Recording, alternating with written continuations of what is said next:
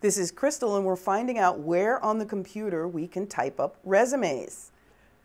So if it's anything with text, Microsoft Word is your best bet. Anything you're typing up, go to Word. And yes, you can manually type your resume, but Word has some great templates, and all you have to do is just fill in the blanks, and you've got your resume finished. So here I am in a blank document.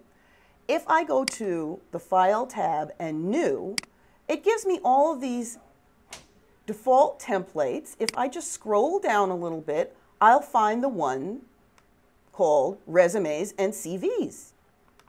So I just double click on it, and I'm just going to look at the basic resumes.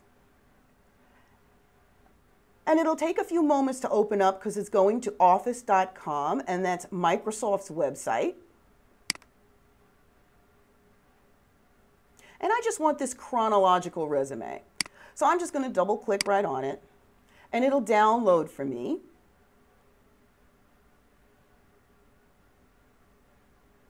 Here's my blank document. And all I have to do is fill in the blanks for my address, city, state, zip, and my name, and continue with my objectives.